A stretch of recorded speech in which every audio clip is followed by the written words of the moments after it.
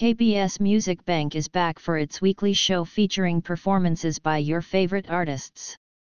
On this week's episode, BTOB returned with Wind and Wish, LE SSERAFIM came back with Unforgiven featuring Nile Rodgers, Must returned with Royalty, and Lee A Young made her comeback with We Can't Love Anymore. As for the winners, 17 and IVE were the nominees, but it was 17 who took the win with Super. Congratulations to 17. Performers also included 17, NCT DOJAEJUNG, Blitzers, EPEX, Xdinary Heroes, XODIAC, Dream Note, xikers, Alice, Drippin, and Tempest. Watch the performances below.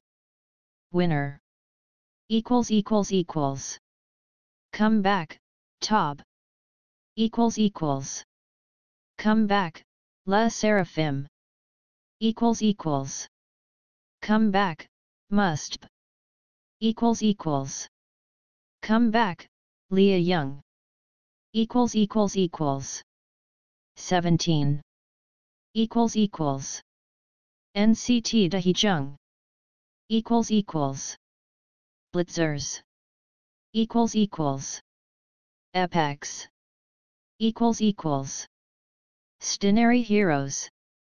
Equals equals. XODIAC. Equals equals. DreamNote. Equals equals. xikers. Equals equals. Alice. Equals equals. Drippin equals equals. Tempest. Equals equals equals